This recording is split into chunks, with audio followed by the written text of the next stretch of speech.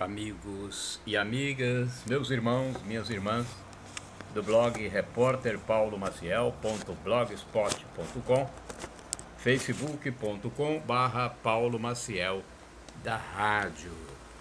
É, estamos aqui para mais uma edição do Web Jornal, desculpe o engano, uma edição da Liturgia da Palavra, porque eu tenho também meu web jornal do Paulo Maciel e tenho diariamente a liturgia da palavra.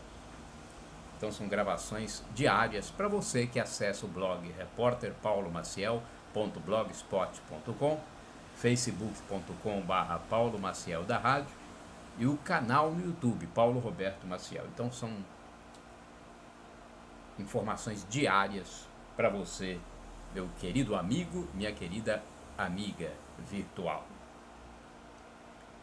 Vamos à terça-feira da 11 semana do Tempo Comum, 19 de junho de 2018. A primeira leitura é a leitura do primeiro livro dos Reis, capítulo 21, versículos de 17 a 29. Após a morte de Nabot, a palavra do Senhor foi dirigida a Elias, o tesbita, nestes termos: Levanta-te e desce ao encontro de Acabe, rei de Israel, que reina em Samaria. Ele está na vinha de Nabot, onde desceu para dela tomar posse isto lhe dirás: Assim fala o Senhor: Tu mataste e ainda por cima roubas, e acrescentarás: Assim fala o Senhor. No mesmo lugar em que os cães lamberam o sangue de Nabot, lamberão também o teu. Acabe disse a Elias: Afinal, encontraste-me, ó meu inimigo. Elias respondeu: Sim, eu te encontrei, porque te vendeste para fazer o que desagrada ao Senhor. Farei cair sobre ti a desgraça, varrerei a tua descendência, exterminando todos os homens da casa de Acabe, escravos ou livres em Israel. Farei com a tua família como fiz com as famílias de Jeroboão, filho de Nabat, e de Baasa, filho de Aías, porque provocaste a minha ira e fizeste Israel pecar. Também a respeito de Jezabel, o Senhor pronunciou uma sentença os cães devorarão Jezabel no campo de Jezrael. Os da família de Acabe, que morrerem na cidade, serão devorados pelos cães. E os que morrerem no campo serão comidos pelas aves do céu. Não houve ninguém que se tenha vendido como Acabe, para fazer o que desagrada ao Senhor porque a isto incitava sua mulher Jezabel. Portou-se de modo abominável, seguindo os ídolos dos amorreus, que o Senhor tinha expulsado diante dos filhos de Israel. Quando Acabe ouviu estas palavras, rasgou as vestes, pôs um cilício sobre a pele e jejuou dormia envolto num pano de penitência e andava abatido. Então a palavra do Senhor foi dirigida a Elias, o tesbita, nestes termos: Viste como Acabe se humilhou diante de mim? Já que ele procedeu, já que ele assim procedeu, não o castigarei durante a sua vida mas nos dias de seu filho enviarei a desgraça sobre a sua família. Palavra do Senhor. Graças a Deus. Um texto muito forte, né?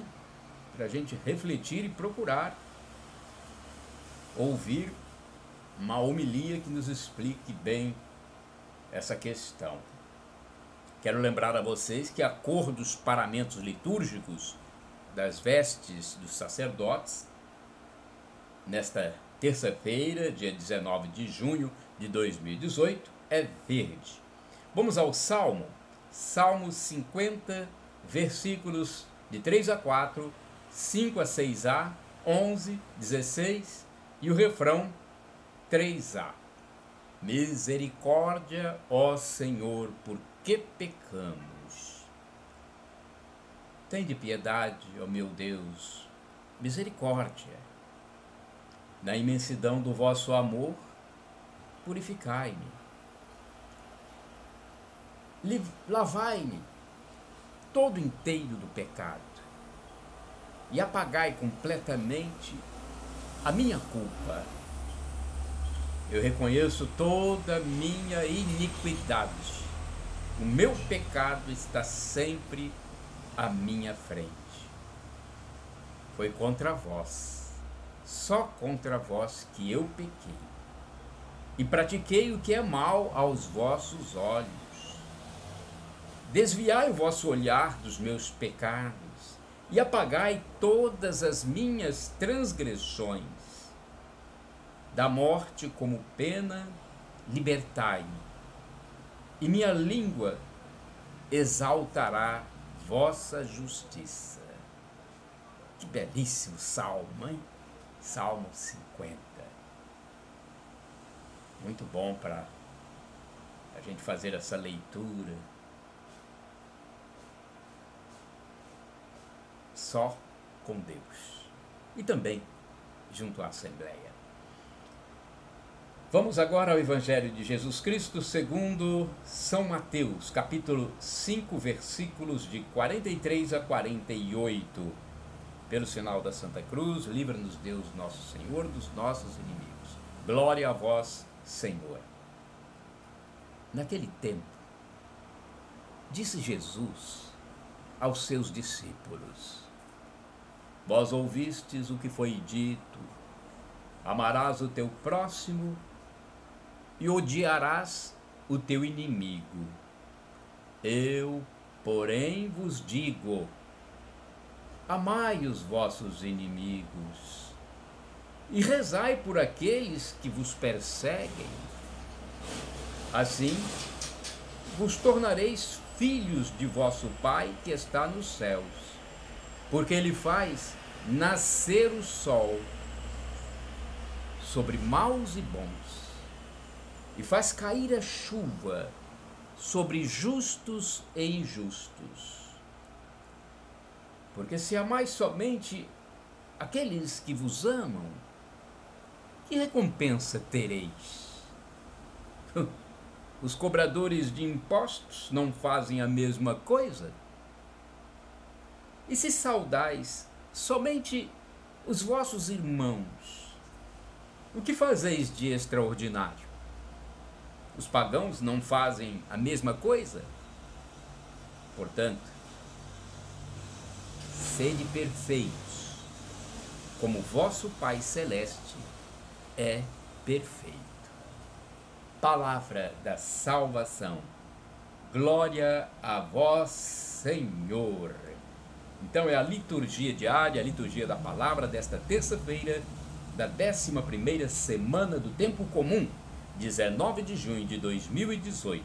A paz de Cristo Jesus para todos vocês que acessam o blog repórterpaulomaciel.blogspot.com facebook.com barra Paulo Maciel da rádio e o canal no YouTube Paulo Roberto Maciel.